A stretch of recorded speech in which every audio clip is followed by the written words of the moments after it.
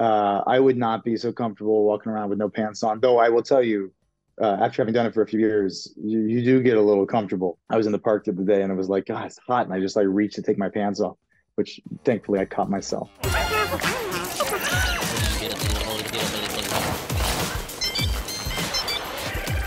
Nice to meet you. Nice to meet you. You got a cool background here. Oh yeah, a gaming background because I do. I also do gaming reviews.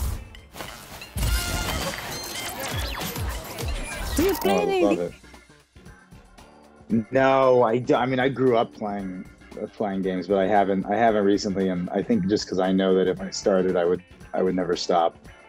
You wouldn't be acting if you if that was it. Yeah, uh, it's a it's a it's a tool of self preservation. Uh, I agree. You're doing great. Keep, keep away the, the video games. Thank you. Congratulations on your new season. It's coming to Argentina, the season three of Ghost. you. I started to watch the show very recently. I'm not gonna lie. I'm really into it. I love comedy, and I it was Oh, Ghost, so it was like a big uh, surprise for me. I'm going to start with the question about Trevor. How much of Trevor Mm. is in? How much of you is in Trevor? Um, you know, there's some days that I'm like, oh wow, we're so similar, and then other days where I'm like, God no. Um, I will say he's he's probably a lot more optimistic than I am. He's got this like kind of he's just always you know he says and does some questionable things, but the thing at his core is that he's just a dude looking to have a great time, uh, even in the most boring circumstances possible, uh, in the trapped in this house. So there is this kind of eternal optimism thing that that happens with him that uh, I wish I had more of. Um, but uh, you know, we're both Jewish. We're both. Um, I think there's a probably a puppyish thing that we probably both share. Uh, I would not be so comfortable walking around with no pants on. Though I will tell you, uh, after having done it for a few years, you, you do get a little comfortable. You kind of forget uh, societal norms at moments. Um, I was in the park the other day and it was like, God, it's hot, and I just like reached to take my pants off, which thankfully I caught myself. Um, but yeah, it, you know, I- it's kind of the perfect balance of a guy who I relate to a lot and reminds me a lot of the people I went to college with. So he's kind of like in my heart, but there's also enough of a distance to, to say, oh yeah, I wouldn't say this, I wouldn't do this. You know, he has his own path. Too much. Taking a little distance. I'm going to do the question about the weird wardrobe, of course. Uh, many people have done it already, but uh, for us, it's the first time maybe seeing Ghost. You are the pantless guy, you said it before. How is it to shoot without pants? It gets easy at some point, clearly. I mean, there's some days that you kind of you're like, ugh, not today. Can I just? I don't want to. But you, um, it's a pretty great job, and it's a pretty great group of people. So you know, you get over and you dive in. Um, it's uh, it, it, yeah, you know, you just get used to the exposure. I would say, and you just have to embrace it. It's part of the thing, and it reminds me of, often that we have an amazing crew who work on this show who are always helping me keep things, you know, safe for families. Uh, so it's it's a group, it's a team effort.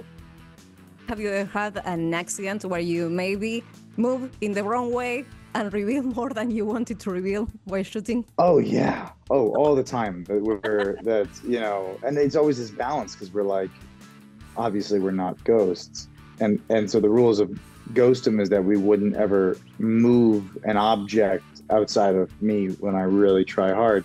So like there's a lot of you know core muscle work that has to happen to make sure that you're sitting on a thing but not leaning on a thing and you know um, so yeah mistakes all the time but luckily it's not a play it's not theater and and we can always do another take so we're saved by that Great. You have a variety of cast. You have a lot of actor and actresses, but also a lot of different characters from different timelines and different uh, approaches of life. Do you have anyone that you like to shoot more than others, Re- respecting to the characters, not your uh, partners?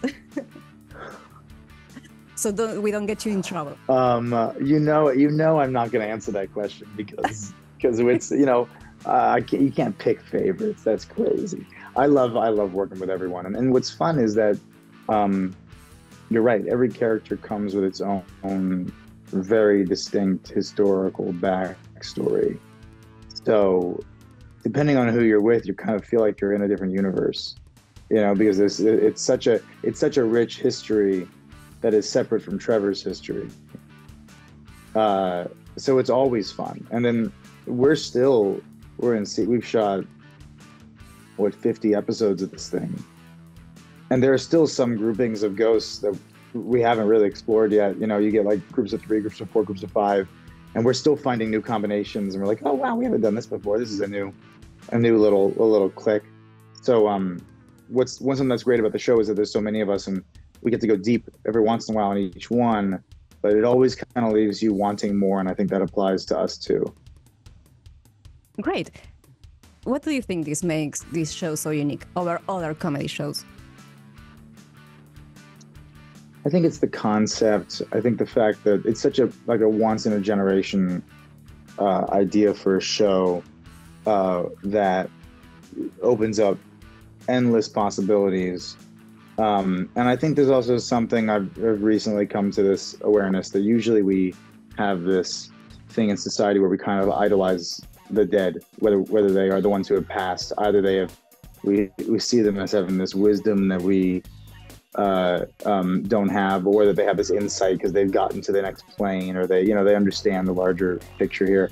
And our show completely switches that around because our dead are all, all stuck and uh, and little dummies, and um, so I think there's something very comforting to see this thing that is very hard to grapple with mortality and, and death and the meaning of existence and stuff like that and really just bring it right by you know down to your your kitchen table uh, and and we're little like all little little muppets you know. So i think it's very comforting in that. And then also it's fun to watch um, history juxtaposed against different you know different time periods um, and see these enormous differences and stuff that in a very soft way may comment on today's world. But because we're doing it through history uh, you know hating the irish you know is is a thing that at least in this country is not really happening anymore. But it does i'm you know hopefully on some level makes people think a little bit about some of their own points of view. And uh, and maybe in a few years they'll they'll change you know if, you decades something our or some of our opinions may have changed in the zeitgeist. So there's a little bit of um pushing people but for the most part it's it's kind of a warm hug of a show that's a great approach. And i, I thought about it for example in the first season when everyone was trying to uh, understand what a, a movie was. Um, yeah. yeah. you but then you go to other deep, uh, deeper uh, thoughts. So that's that's kind of cool. I'm gonna ask the ghost question. Uh, i mean if you were a ghost. Mm. have ghost powers. In the in the show where everyone interacts with the livings in a different way. If you were a ghost what power would you choose not be so overpowered please remain kind of normal um I, I you, you guys haven't seen season three yet, right? No, we haven't seen. It hasn't started airing. Okay. I think that the the ghost power I would want is probably something uh, close to what Sasappis's power is, which will be revealed early in season three. I think that's a very cool ghost power. Okay, nice cliffhanger. so a little tease there. Yeah. Yeah, great. And last question, so we, we can leave you uh, with other things you have to do. If you were to end up as a ghost, and you take it very well, of course, what will what will be the first thing you will do as a ghost? Um, God, that really depends, like where I'm at, where I am. There's so many factors in that. Um, Imagine you're trapped in a house. uh, what's that? Imagine you are trapped in a house like your character. Imagine I'm trapped in a house. I, would probably go looking to see who who this who else is there. I'd probably run around being like, all right, who, who am I now stuck with for eternity? To see that's going to be a big, you know, it's going to be a big factor. Yeah, it depends, of course. Well, yeah. You're gonna see mm-hmm. if you, have, you are alone there or trapped for eternity, or you have some companions. yeah, Okay, thank you, Asher, for this interview. It's been amazing talking to you. Congratulations on how good the show is and how good it's going. Congratulations on season three. We're going to see it really soon here in Argentina. Thank you so much. Thanks for having me. It's great meeting you. It's been, it's been great. Thank you. Thank you so much.